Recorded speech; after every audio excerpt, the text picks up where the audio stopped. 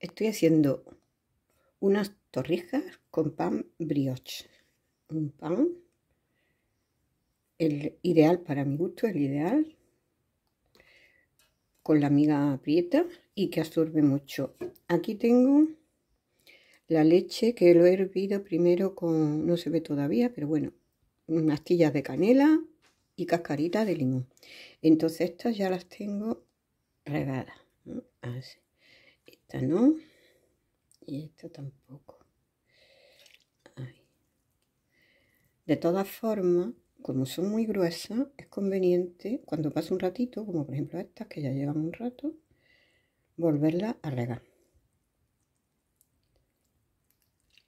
Así, ya, hasta que las completemos. Y terminemos la leche. Es bueno dejarla un ratito, pues no sé, depende, como las veamos, media hora, una hora. Y, que se empapen, sobre todo que se empapen muy bien y que no se rompa. Este pan en general no se rompe. No lo he podido hacer yo, es de panadería, una panadería artesana y la verdad es que es un pan magnífico. Yo repito siempre, yo creo que ya estamos terminando, efectivamente, ahora vaya a ver ahí. ¿Veis ahí? Las astillas de canela y la cáscara de, de un limón, lo tengo aquí. Pues limón y espera. Y aquí estoy batiendo los huevos que van a servir para rebozar las torrijas. Cuando el aceite vemos que se mueve, ahí se ve que se mueve, es cuando nos indica que ya está prácticamente caliente. Tiene que moverse un poquito más. Ves que sale unos globitos y, tiene un cierto movimiento. Bueno, pues ya tengo los huevos espumosos y vamos a empezar con la primera torrija. Empiezas con una, por si el aceite no está demasiado fuerte. En fin, que veas más o menos. Como veis, son muy gorditas. Ese tiene la ventaja de comprar el pan sin cortar y cada uno lo corta a su gusto. Como a mí me gustan gorditas, para que esté muy cremosa, pues yo lo corto así de este tamaño, o sea que el tamaño es considerable, pero es como más me gusta. Así que yo creo que ya está el aceite. Vamos a empezar. De todas formas, exactamente. Siempre se pone una esquinita. Si ve que, que fríe, pues nada. Y vamos con la segunda. Las manos bien limpias. Los huevos bien batidos. Y las torrijas bien llenas de leche. ¿Veis? Pues nada, aquí me quedo viendo. Ya tenemos las torrijas fritas. No hace falta freírlas mucho. Algunas están, estas son, estas las he puesto arriba para que la veáis, son de las primeras. El aceite está muy limpio, están más, más blanquitas y estas dos son las últimas. Normalmente sale un poquito más dorada la última que las primeras. Yo frío siempre con aceite de oliva virgen extra, que es lo que me da más calidad.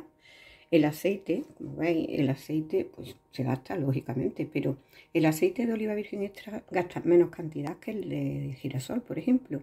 Y además este aceite se puede mm, volver a utilizar.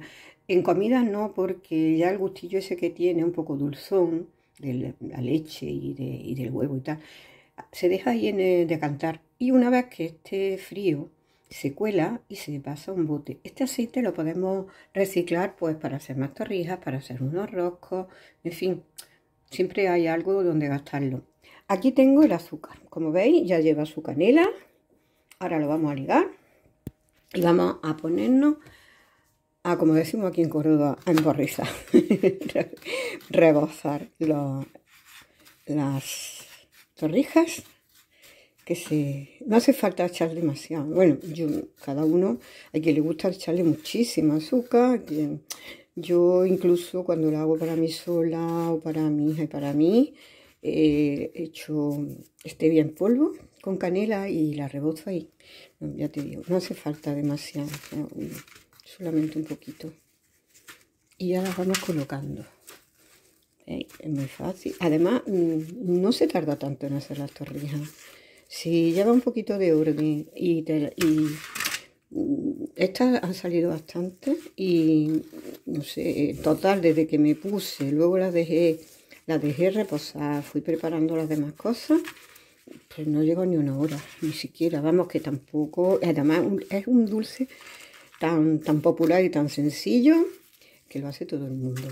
No vale decir no, no, no puedo hacerlo, porque sí. Yo digo que sí, que se puede, y porque además este es de los dulces para principiantes. Tiene muy poquita ciencia. Bueno, pues aquí me quedo con las torrijas rebasándolas.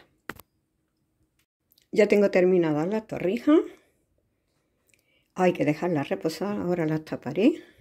Me gusta taparlas con papel de aluminio. Y para la merienda ideales. O sea, que hay que dejarlas reposar, hay que dejarlas que se enfríen, por supuesto. Los impacientes que tienen que esperar un poquito porque es bueno comerla con reposo.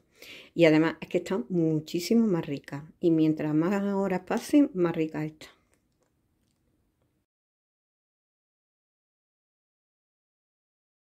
Aquí tenemos ya la torrija que he puesto para, para la presentación. Bueno, la foto de antes la habéis visto entera y aquí cortada, ¿veis? El grosor que tiene y la esponjosidad. Por eso me gusta ponerla gordita. Pero bueno, a gusto de cada uno, si os gusta más finita, adelante. Ya veis que está en su punto, no hay que freírlas demasiado, no hay que ponerle demasiado azúcar lo justo para, para, que, para que la cojan por los dos lados y dejarla en reposo, nada más. No necesitan mucho. Así que seguro que si las hacéis, las vais a disfrutar.